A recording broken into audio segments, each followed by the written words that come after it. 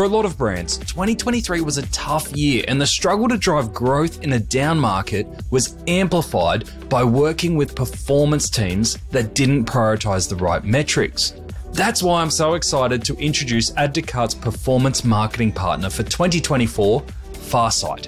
Farsight is in it for the long term with a mission to do growth for good, prioritizing integrity and sustained success. By working with their clients on a P&L level focusing on profitability, they've been able to continue fueling growth in an economic downturn. As the saying goes, you are the company you keep, and Farsight has worked with some of the most genuine and high growth businesses in Australia like Trademutt, Black Milk, Outback Equipment, and Mocha. If you want a performance agency who actually care and are proven to deliver on their promises, make sure you check out the Farsight team at Farsight, that's Farsight with two eyes, dot com, and book a call directly with the agency's director, Ben Somerville.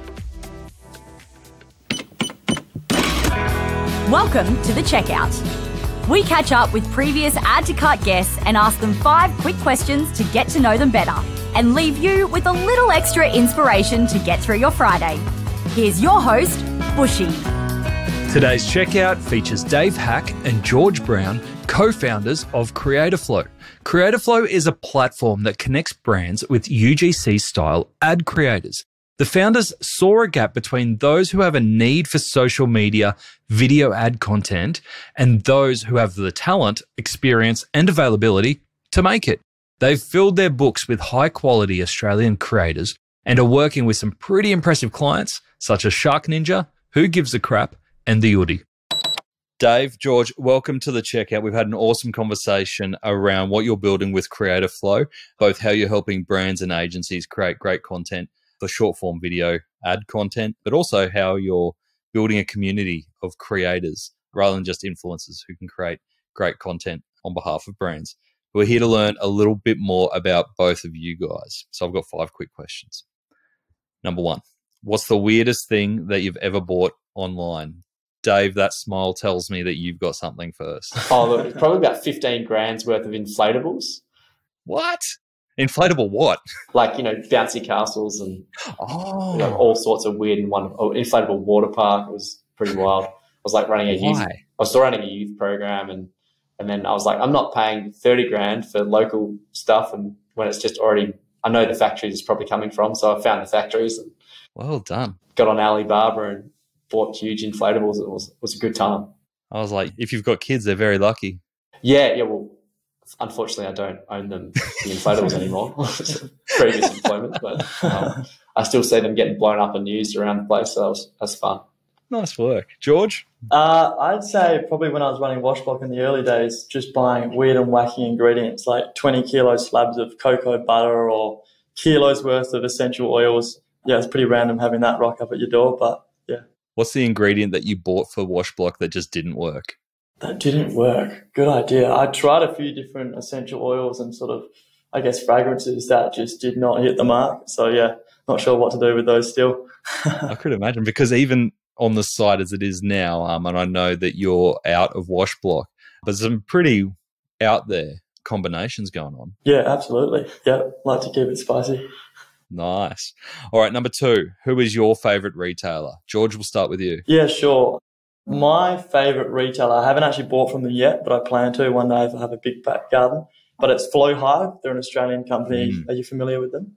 I am. Yeah, so they basically make it possible to tap honey straight into your jar and take all the, the hard part out of it.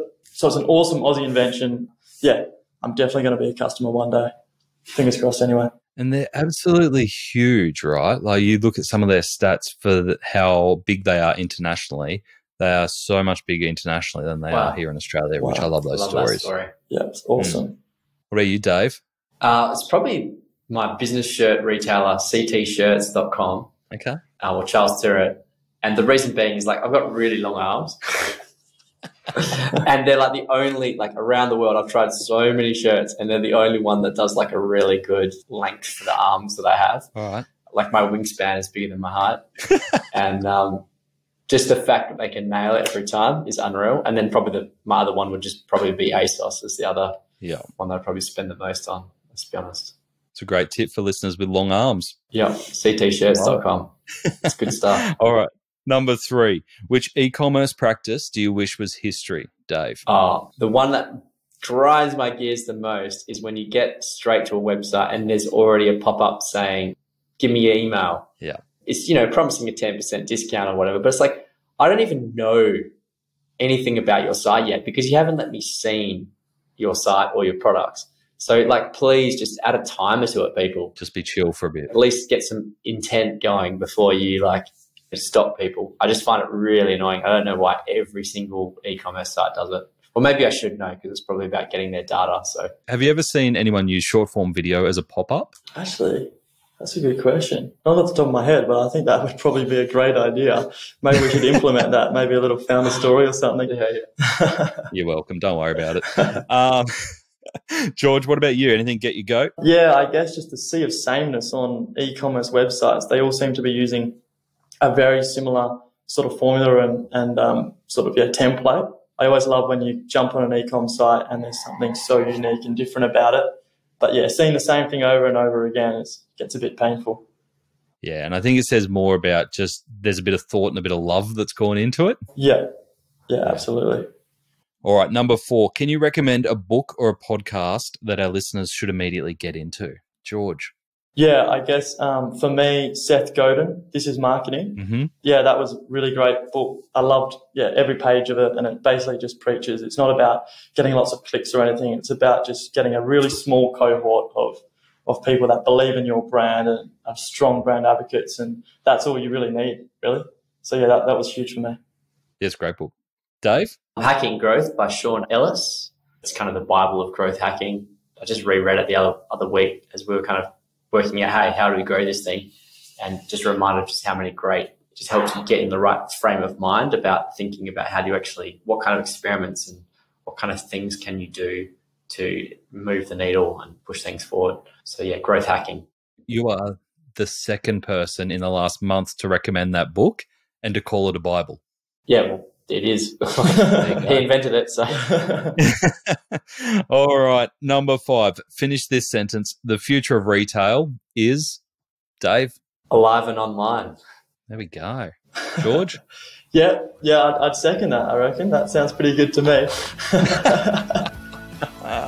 alive and online. Well, obviously with video, more alive than ever. So that's a great segue into what you guys do. Thank you so much for joining us on the checkout. Great to hear more about what you're building at Creator Flow and to meet you both. Thanks, Thanks so much, Nathan. Dave. Thanks so much, Nathan. Do we need to reshoot that? To hear more from Dave and George, jump back into episode 364, where Dave and George get into all the detail of exactly what UGC is and how it differs from influencer content. They share wisdom from both sides of the equation, both how to produce great content and the must haves when brands are briefing for UGC. We also get into their predictions on what we're going to see most for future disruption in the video content creation space. Thanks for listening, and until next time, keep adding to cart.